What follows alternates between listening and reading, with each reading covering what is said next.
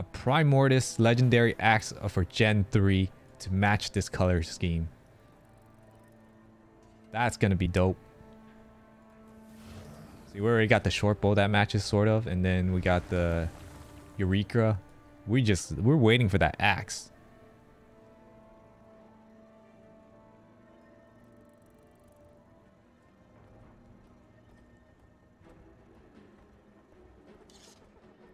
Devil Rending? What's that? Is currently on Gem Store? I looked through all the axes and I didn't see anything that I liked in particular, but if let's see what we got. It's styles.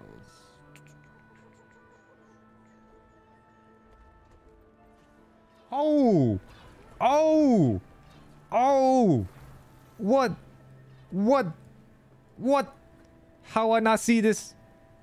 What? We gotta buy it. We gotta buy it. Forget the legendary axe in Gen 3.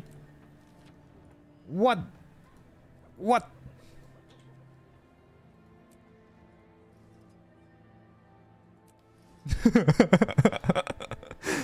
what?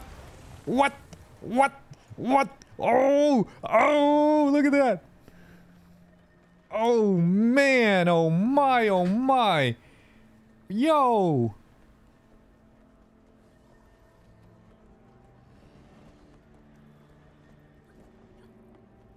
That's nice.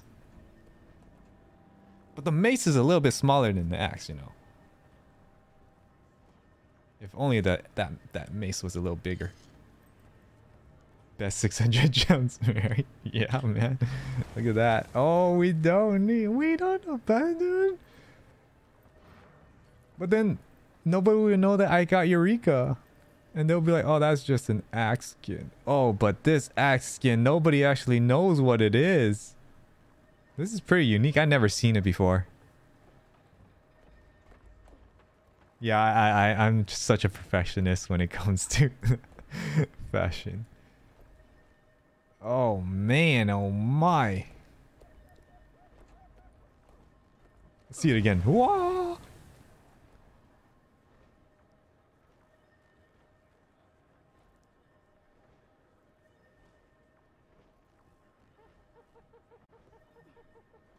Mm, a few months ago. That's why I did not know that. Oh my goodness.